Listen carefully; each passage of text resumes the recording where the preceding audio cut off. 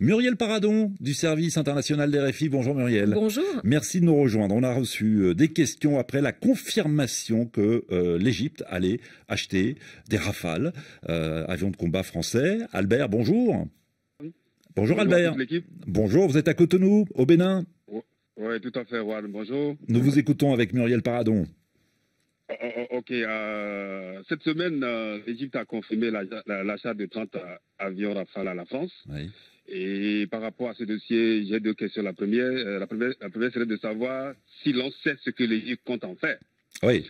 30 euh, avions euh, de combat supplémentaires, ce qui portera euh, sa flotte à 54 rafales. Muriel Paradon, concrètement, que compte faire l'Égypte de tous ces avions de combat? Alors, ce n'est pas tant ce que l'Égypte compte en faire, sur quel terrain elle pourrait intervenir militairement avec ces rafales, mais plutôt ce que cela apporte à l'Égypte en termes de dissuasion. C'est vraiment le maître mot, dissuasion montrer sa puissance dans la région avec ces rafales qui sont des avions de combat très performants, armes de dissuasion contre deux ennemis potentiels, l'Éthiopie qui est considérée euh, comme une menace par l'Égypte car elle souhaite, vous le savez, continuer le remplissage du grand barrage de la Renaissance sur le Nil, ce qui mettrait en danger l'approvisionnement en eau de l'Égypte. C'est un contentieux qui est très lourd. Mmh. Et puis, et surtout, la Turquie qui est considérée comme une menace également en Méditerranée orientale avec ses projets gaziers. Donc l'Égypte montre sa puissance avec ses rafales en disant attention, on peut vous atteindre, le cas échéant, même si ce n'est pas le but, c'est ce qu'on appelle la dissuasion. La dissuasion. Albert, vous disiez avoir deux questions oui, la deuxième, c'est que le président Macron avait condamné les atteintes aux droits humains en Égypte lors d'une visite officielle dans le pays en 2019. Oui. Et je voudrais savoir si les entreprises françaises euh, ont le droit de vendre des armes à un pays qui ne respecte pas les droits humains.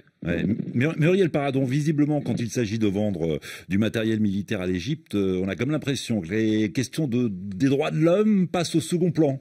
Oui, alors d'abord, les entreprises françaises euh, d'armement, elles suivent la ligne des autorités mm. françaises. Hein. Vous savez, Jean-Yves Le Drian, qui était ancien ministre de la Défense, qui est aujourd'hui au Quai d'Orsay ministre des Affaires étrangères, c'est lui qui pousse hein, à la vente des rafales. Il faut être clair là-dessus. Et quand la France eh bien, décide de vendre des rafales à l'Égypte, malgré les violations des droits humains dans le pays, euh, dont elle est parfaitement consciente, eh bien, les entreprises d'armement euh, comme Dassault euh, vendent ces armes. Ensuite, en 2019, Emmanuel Macron avait en effet critiqué lors d'une visite officielle la situation des droits humains en Égypte, ce qui avait un peu refroidi les relations.